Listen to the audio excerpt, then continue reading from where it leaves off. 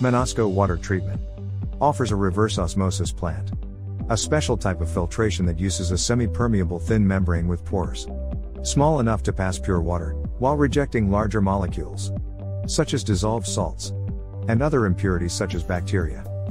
We provide the following services for all types and sizes of RO plant design and engineering, installation, maintenance and operation. For more information and inquiries, click the Contact Us button.